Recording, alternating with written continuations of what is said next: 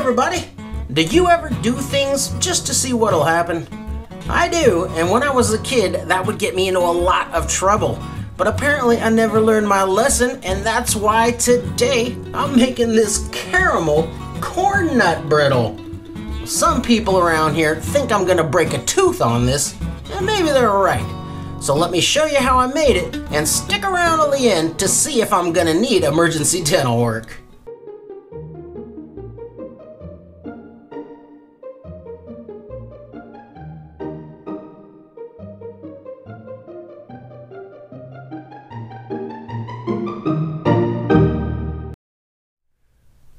Let's take a look at the ingredients, and this is a very simple recipe. I've got two cups of sugar, one third cup of light corn syrup, this is one half cup of water, and I've got one four ounce stick of unsalted butter. I think I'll be getting plenty of salt off of these.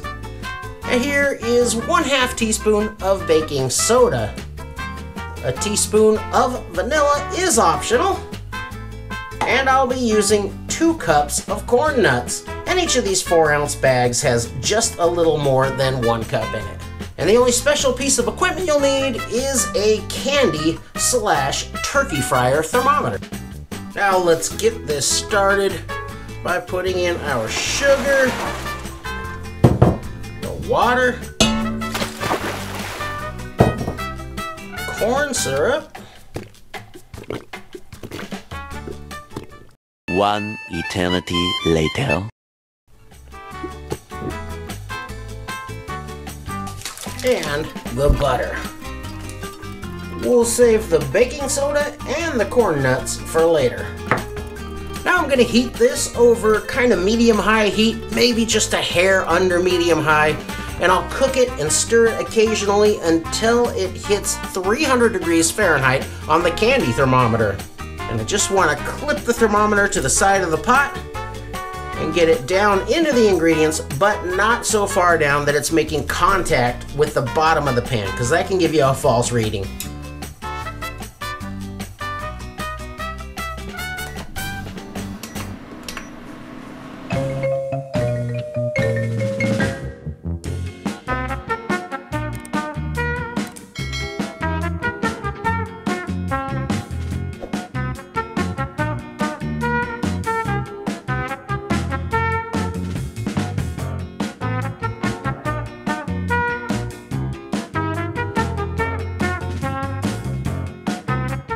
While that's bubbling away is a good time to get your baking sheet ready and you can just use a plain non-stick baking sheet but mine is a little older and worse for the wear and not quite as non-stick as it once was.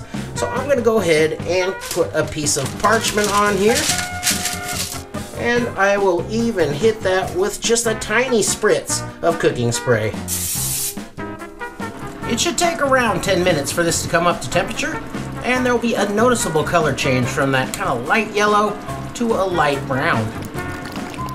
Double checking with a more accurate handheld is always a good idea.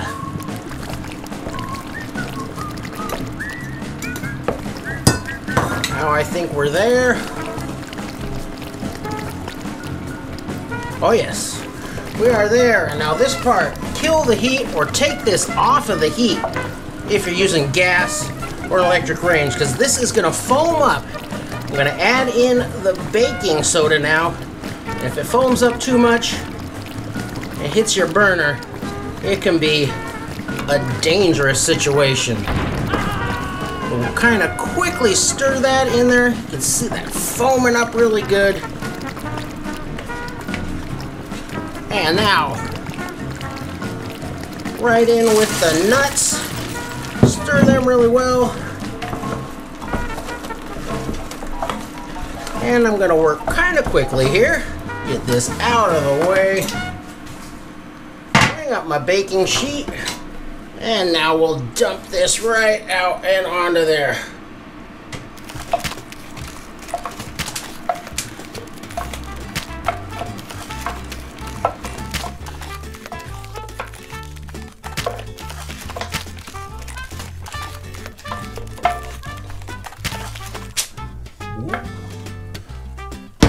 That all out of there. And then I want to kind of spread it around. So I'll use the back of a spatula or a big spoon, put a little cooking spray on there so it doesn't stick. And we're going to spread this out until it's pretty thin. Only like one corn nut thick.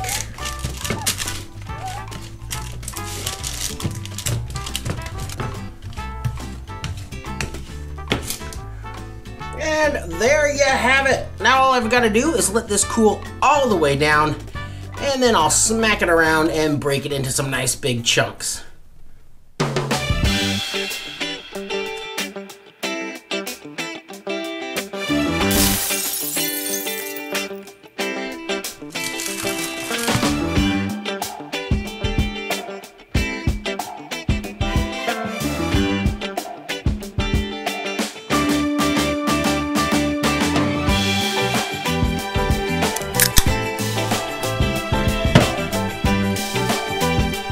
And now, let's see how we did.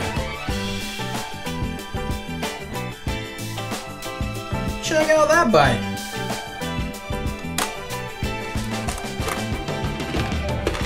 Mmm. Wow.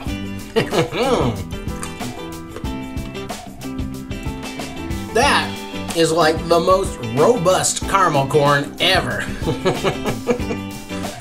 The brittle is nice and crispy. It's got a great buttery caramel flavor, and it really does go well with the corn nuts. Sweet and salty, maybe a bit played out, but it's still a dynamite combo. I was a little bit worried that the oil on the corn nuts would keep the brittle from sticking to them very well, but it did good. Those nuts are quite securely cradled in that hard shell just like a baseball player.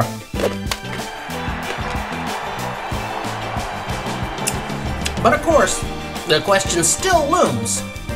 Will biting into this have you rushing to the dentist? Not at all. If you're able to eat corn nuts, you can definitely eat this. Coating them in caramel hasn't made these nuts any harder than they are right out of the sack.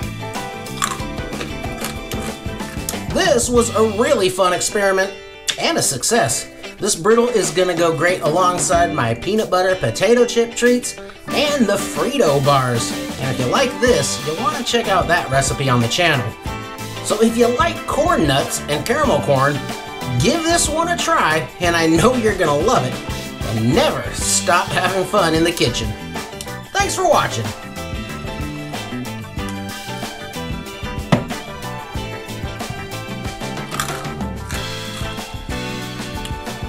This does give me another idea.